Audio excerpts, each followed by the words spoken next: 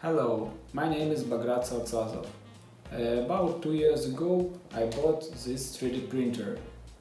It's called Anet A8. Uh, not the best one, especially extruder. It's clogged sometimes from time to time. Some it's not very steady because it's wobbly. I but I've upgraded it, print some parts on itself and also I like this idea. I learned a lot about 3D printing and CNC in general. So I'm pretty satisfied with this printer. I'm not recommended buy it now because on the market you can find much more reliable printer and uh, much more steady, well designed, let's call it. But I got what I got. And recently I moved to another city and I want to carry this printer with me.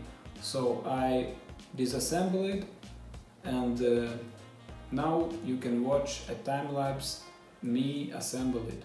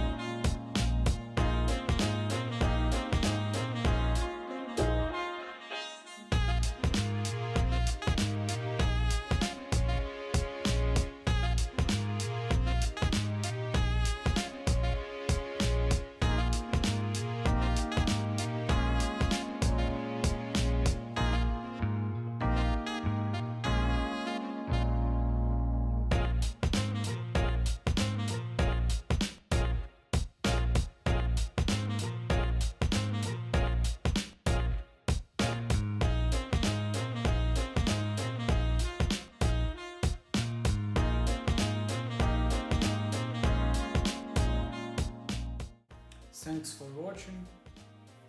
It would be nice if you consider subscribe.